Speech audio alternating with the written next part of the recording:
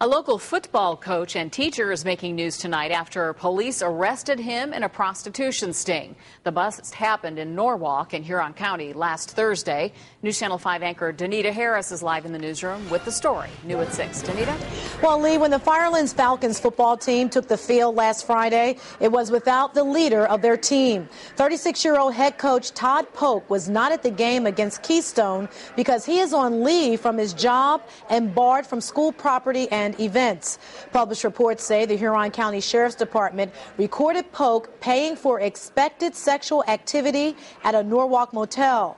Pooch has taught at the Lorain County Joint Vocational School in Oberlin for the past three years. The superintendent there told us today that his record until now has been exemplary.